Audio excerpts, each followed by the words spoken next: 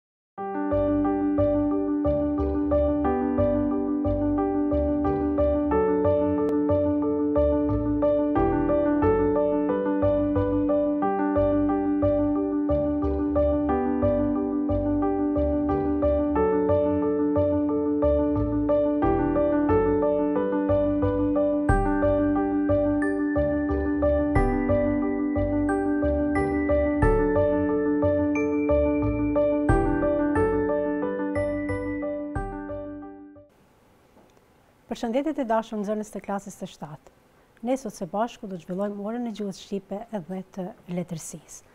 Ne sot do të mësojmë një poezi Syrgjyn vdekur nga Fan Stilian Noli, pra është elegji. Pra do të punojmë me librin Ngjyrat e jetës. Si fillim ne do të shohim se çka është poezia. Do të plotësojmë një klaster së bashku. Kush e shkruan poezinë? Poezinë e shkruan poeti. Si shkruhet pra poezia? Shkruhet në strofa. Po ashtu edhe në vargje. Poezia ka tematika të ndryshme. Ka figuracion dhe ka rimë. Tani do të shohim se kush është Fan Stilian Noli. Lindi në vitin një mijë e tetëqind e tetëdhjetë e dy në Ibrik Tepe, Qytezë, Turqi dhe vdiq në SHBA në vitin një mijë e nëntëqind e gjashtëdhjetë e pesë. Noli ishte poet, dramëshkrues, kritik e përkthyes.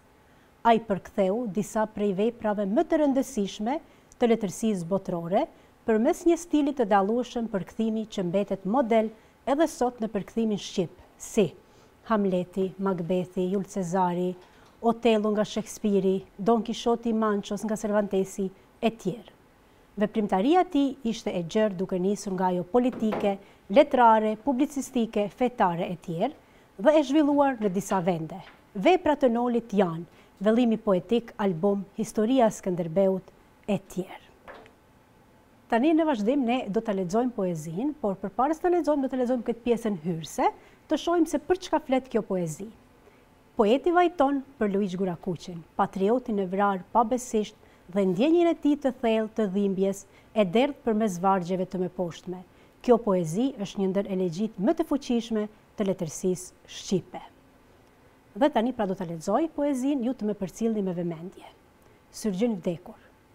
Nëno moj mbaj zi për vëllanë, me tre plumba na i ranë, na e vranë e na e shanë, na i thanë tradhëtor. Se të deshte kur s'të deshnin, se të qante kur të qeshnin, se të vishte kur të zhvishnin, nëno moj të ra dëshmor. Nëno moj vajto merr malin, larot ta përmbysin djalin, që me Ismail Qemalin, ngriti flamur trimëror. Nëno moj ma qaj në Vlorë, Ku të dha liri kuror. Shpirt i bardhë si dëborë Ti s'i dhe as varr për hor. Nënë moj ç'është përpjekur Gojë mjaltë e zemër hekur Syrgjyn gjallë e syrgjyn vdekur Ky vigan liberator.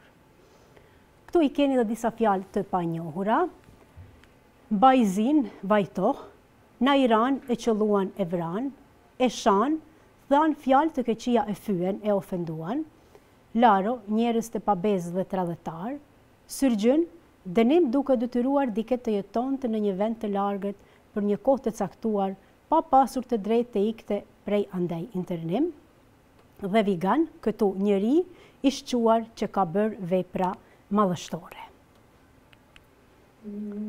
Pra, poezia e mësipërme është një poezi lirike në të cilën poeti shpreh një ndjenjë të thellë dhimbje dhe pikëllimi për patriotin e vrarë pabesisht. Kjo lloj poezie ndryshe quhet elegji. Ne tani do të shohim se çka është elegjia. Elegjia është poezi e shkruar në vargje, e cila zakonisht ka tone të trishtuara, vajtuese, rënkuese, mallëngjyese. Ajo mund të ketë subjekte të ndryshme si, vdekja, lufta, dashuria, humbja etj. Elegjia është lëvruar që në letërsinë klasike greke e romake. Në letërsinë shqipe janë të njohura elegjitë e Fan Stilian Nolit, Andon Zako Çajupit e të tjerë. Të kuptojmë tekstin. Pse vajton poeti në këtë poezi? Poeti në këtë poezi vajton për vrasjen në në pabesi të patriotit Luigj Gurakuqi. Cila ndjenjë është ajo që mbizotëron në këtë poezi, optimiste, dhimbje, gëzim, zemërim? Qarkoni numrin para përgjigjes së saktë dhe sqaroni zgjidhjen tuaj duke u bazuar në tekstin e poezisë. Për këtë pyetje alternativat e sakta janë dy, nën dy, dhimbje, sepse për poetin ka vdekur një patriot i madh, dhe katër, zemërim, sepse vdekja e patriotit Luigj Gurakuqi nuk ka ardhur nga shkaqet natyrale, por sepse ai është vrarë pabesisht. Gjeni epitetet e përdorura në këtë poezi. Të shohim se cilat janë ato, Gojë mjaltë e zemër hekur, vigan liberator. Dhe tani do të shohim se çka është epiteti. Epiteti është një nga figurat më të thjeshta dhe më të përdorura. Ai gjendet lehtësisht pasi shprehet me një mbiemër që tregon cilësi të spikatura, për shembull, vashëz bukuroshe, pyje të gjelbëruara etj. Kjo poezi karakterizohet nga disa antiteza të spikatura. Cilat janë ato? Pra do të shohim se cilat janë antitezat. Se të deshte kur s'të deshnin, se të qante kur të qeshnin, se të veshte kur të zhveshnin. Dhe tani do të shohim se çka është antiteza. Antiteza është figurë stilistike që shprehet me anë të antonimeve, duke vënë përballë ide, duke përdorur fjalë e fraza me kuptime të kundërta, pra siç i vërejtëm në vargjet e lartshënuar. Cila është fraza që shërben si anaforë në këtë poezi? Gjeni dhe shkruajeni më poshtë. Pra, fraza që shërben si anaforë është Nëno moj. Dhe tani do të shohim se çka është anafora. Anafora është përsëritja e një fjalie ose një grupi fjalësh në fillim të frazave ose të vargjeve pasuese për ta theksuar a për ta nxjerrë në pah më me forcë një figurë a një koncept. Po cila do të ishte tema e kësaj poezie?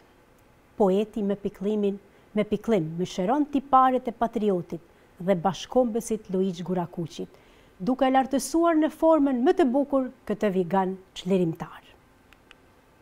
Dhe për detyrë shtëpie përgjigjuni pyetjeve në faqen njëzet e tetë pra tek libri i leximit.